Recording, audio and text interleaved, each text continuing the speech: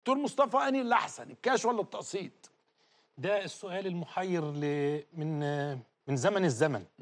ولكن طبعا خليني أقول لحضرتك ده ليه مجال وليه سوق وليه مطالب وده ليه مجال وسوق ومطالب في المجتمع كله وشرايح المجتمع كلها لا غنى عن هذا أو ذاك.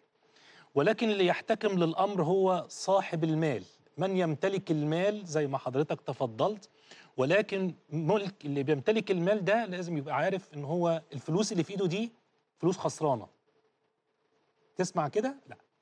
الفلوس اللي في إيد الناس دايما لو ما استغلتهاش ولا استثمرت فيها أنا بسميها فلوس خسرانة. خسران آه طبعا. القرش اللي يبات ده ما حصلش فيه أي, أي حاجة. تغيير. الفلوس اللي في محفظة حضرتك أو الناس بتحطها في البيت أو يقول لك أنا حاطط تحت البلاطة ورايح للمستريح أمال حكاية cash is king دي إيه؟ لا. إن كاشك معاك فلوسك في جيبك أنت مطمن يعني. ده لو الأسواق مستقرة في أي حتة في العالم. لكن أنا بتاع استثمار فدايما أقول لو الفلوس اللي في إيدك دي النهارده ما استغلتهاش ولم تستخدمها على مدار الفترة الزمنية اللي دايما بنحددها كويس في أي وقت بقى كل واحد بيختلف يعني دي فلوس خسرانة. الفلوس الكسبانة دايما اللي هي بتحقق عائد وعائد يناسب حضرتك. كم كل واحد فينا لوحده.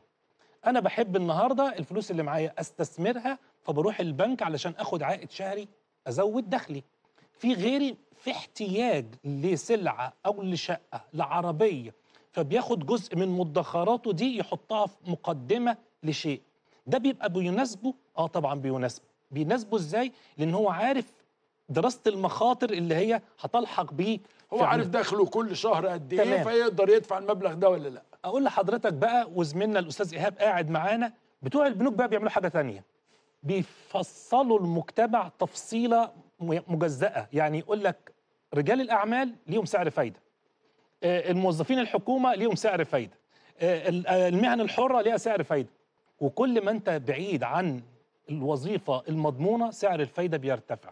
مخاطر طبعا. فبتتحمل مخاطرة وعبء مالي لو انت بتقسط. فعلشان كده دايما ما حد بيجي لي أقول له خلي بالك في روشتة كده لازم تعرف عارف آليات التقسيط إيه؟ خش اقبل عليه. مش عارفها؟ لو سمحت انتظر إيه آليات التقسيط يعني؟ أنا بروح بقول له أنا هدفع مقدم والباقي على 12 شهر. إيه الآليات يعني؟ تمام.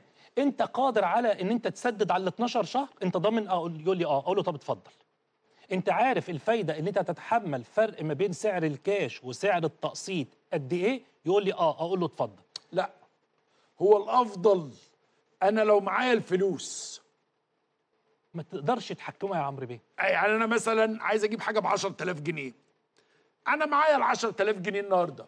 أدفعهم ولا أقسط؟ بس كده. ده السؤال. السؤال بقى أنا جاوبك عليه. ادفعهم واشتري حالا.